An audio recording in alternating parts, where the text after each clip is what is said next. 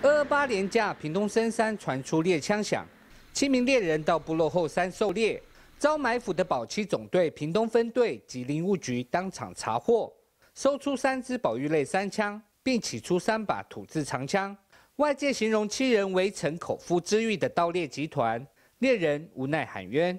都有这个习俗了，说要去山郊慰问啊、除山这样啊。刚好那时候就一时那个。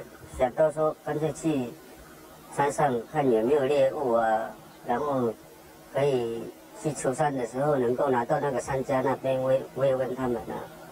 啊，所以说我才一个人这样子上去的。当事人表示，由于部落内有人过世，上山狩猎是为了将猎捕到的猎物作为商家除伤所用。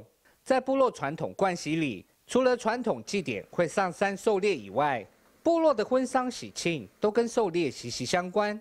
乡民代表认为，现行法律限缩了原住民的狩猎文化。有庆典还是结婚哦，丧事要去除孝哦，去打猎，那个是我们的文化，那个是我们呃从以前的一个呃风俗。